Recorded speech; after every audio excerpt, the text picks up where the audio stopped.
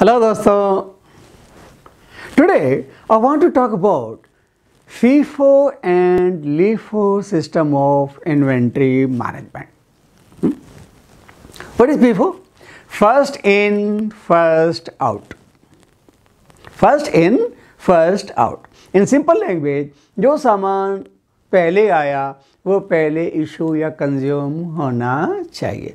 First in first out And then we got one more system, LIFO, last in, first out. LIFO in manufacturing has got practically no application. Yes, in the field of trading, it has got limited application. Like so far, I know only two areas rice, चावल जितना पुराना होता है value बढ़ती है ऐसा नहीं, पचास साल पुराना? हाँ दो साल पुराना राइस तो मार्केट में प्रीमियम पे बिकता है। तो हम क्या करते हैं? ऑर्डनरी कस्टमर को फ़र्स्ट इन फ़र्स्ट आउट वाला दिया। लेकिन प्रीमियम सेगमेंट में हम पुराना चावल बेचने की कोशिश करते हैं। और दूसरा है लिकर आपने देखा होगा aging in casks for thirty five years aging in bottle for another five years और ten years like that liquor जितना पुराना होता है, उतनी ही वैल्यू बढ़ती है। मेरे को सिर्फ़ दो एप्लीकेशन पता है लीफो की। इसके सिवाय लीफो की कोई एप्लीकेशन मुझे नहीं पता। खैर, आपके पास हो कमेंट बॉक्स में लिखिए। Yes I can learn from you people या you are all knowledgeable people so far I know only two application liquor and rice apart from this I got no application of LIFO in my knowledge. Then, let's come to FIFO. In manufacturing, we prefer FIFO. First in, first out. Hmm. कैसे? How do you achieve FIFO? Okay. Normally, in manufacturing, we people use gravity chutes, roller rack. Look at this slide. Yeah, you can look. Two examples are there we can get such racks fabricated but these racks have a disadvantage they consume lot of space and in the manufacturing industry space is at a premium जगह ज़्यादा consume करते हैं inefficient है हाँ FIFO बहुत अच्छे से maintain होता है आगे से कंज्यूमर असेंबलर उठाता है पीछे से मेटल की फीडिंग होती रहती है good FIFO is strictly maintained but mind it space wise they are inefficient क्या करें फिर ठीक है लाइन असेंबली टाइप के ऑपरेशन हो roller rack number one option but if you happen to be in ware house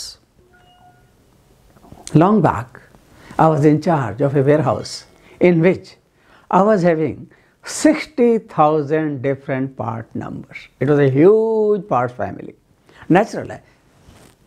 In such a situation, we people cannot use roller racks. What do we do then? Then, another example, yeah, another solution. We use multi-level storage racks. But then, how do you ensure FIFO? First in, first out. Yeah, very difficult. So, what do we do? We take help of a software, warehouse management system, or warehousing management system. We call it WMS. Yeah. So, each rack location is given an address. That address is fed into the computer database. Then, then, with the rack address, we put barcoding also. Which, when scanned, will pick up that location address. So, while placing the item, yeah, we first scan the location, then feed the quantity, we place the material. And every time we withdraw, we again scan the location, we feed the quantity, this, this much quantity I have picked. So, computer automatically keeps doing plus and minus. and WMS, warehousing management system is such, whenever a user wants to pick the material, automatically it will guide him to the FIFO location whatever material came first will guide the user consumer to go to that location pick up that material so wms that way is quite helpful tool let me tell you if your power family is large and you got multi-level storage racks like this. Without an efficient WMS, you cannot do that. Luckily, WMS softwares, WMS softwares are not at all expensive. They cost only a few lakh rupees. Hmm? Okay, but if you got 30 to 35 part numbers only, please do not use WMS. It will be wastage. Look at two examples. We can fabricate yeah, small guides, guides mounted on a wooden board. We can paint the wooden board in white. Yeah, we can use plastic blocks, small flat plastic blocks. On top of that, we can put through paint, and every time an item comes, yeah, you can use paint or you can do one thing. On this side of the plastic tablet, yeah, small plastic tablet, which will be say 4 inches by 4 inches tablet, flat piece, say some 4 mm thick piece. Paste a white paper, yeah, write the location, write the date of part number, yeah. Part number of course is there, you got 30 part numbers, part number A, B, C like that, 15, another row 15 and from the, from the right side you insert the tablet and left side you take out. Every time you get material, yeah, write it down. Yeah, this is the date of arrival, insert it and the user has to pick from this side as you see in the diagram. This is how we ensure FIFO. Now it's up to you. It depends. What's the part family? How many stock keeping units you are having? Yeah?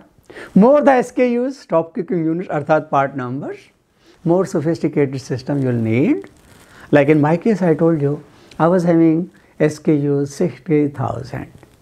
तो बिना WMS के मेरा काम तो नहीं चलता था हम्म, मैं गया हूँ कई छोटी कंपनी में, जहाँ 25-30 ही एस के यूज़ हैं स्टॉक कीपिंग यूनिट्स अर्थात पार्ट नंबर तो वो क्या करते हैं? वो जैसे आप डायग्राम में देख पा रहे हैं, बस उसी को इंसर्ट करते हैं राइट साइड से इंसर्ट करते हैं लेफ़्ट साइड से टेकआउट करते हैं।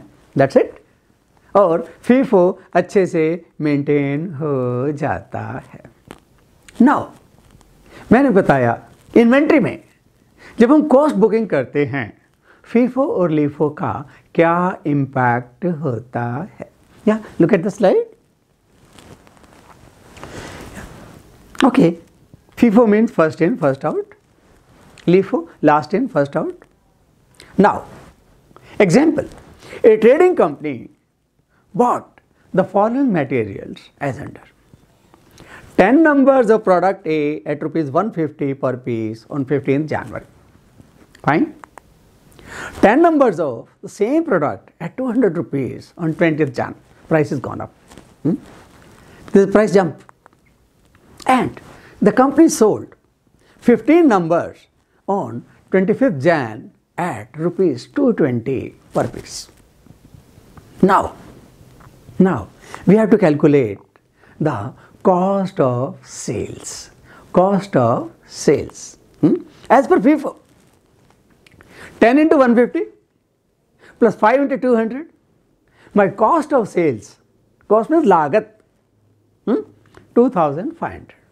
But as per LIFO, the cost 10 into 200, last in first out, plus 5 into 150 2750. As per LIFO, cost of sales is higher. That means as cost is higher, yeah, my profit goes down. Hence, tax also goes down. Yeah?